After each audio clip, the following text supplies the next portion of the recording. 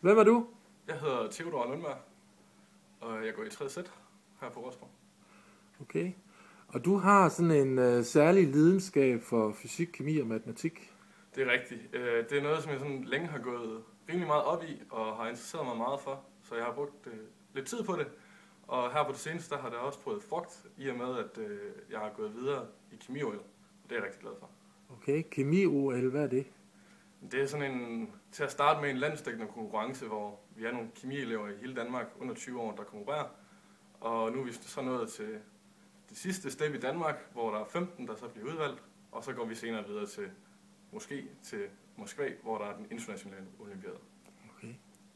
Fornemt. Og der er også noget med noget masterclass, du har været involveret i. Det er rigtigt. Det er noget fysik, øhm, som der har været et supplerende undervisningsforløb i to år cirka.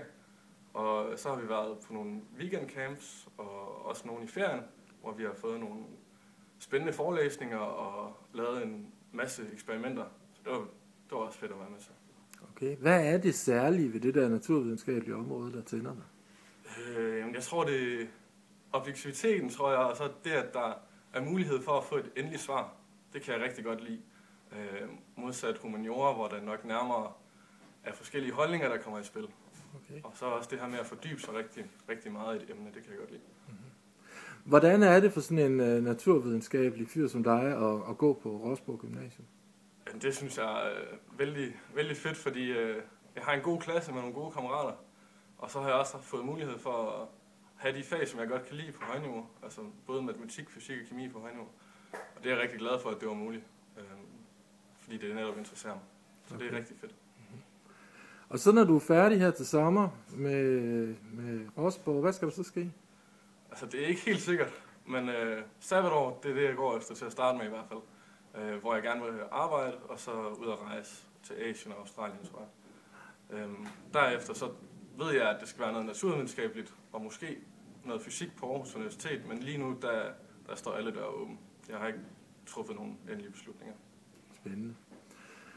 Og så har vi jo, øh, du har lige fået at vide, at øh, vi har kåret dig som øh, månedens elev her på Rosborg. Ja, det er enormt fedt. Det er jeg virkelig glad for. Okay. Men det, det er jo det der store engagement og den der, det der overskud til at øh, ikke bare kunne følge undervisningen meget engageret, men også til at, at, at deltage i masterclasses og så videre. Det, der er du jo et forbillede. Ja, det, det er okay. Det, det, er, det er virkelig glad for at høre. Så nu er der kage til klassen. Yes, det er jeg sikker på, at de bliver glade for. Det er nogle rigtig kageglade mennesker. Og så et stort tillykke herfra, og Tusind tak. tak. tak.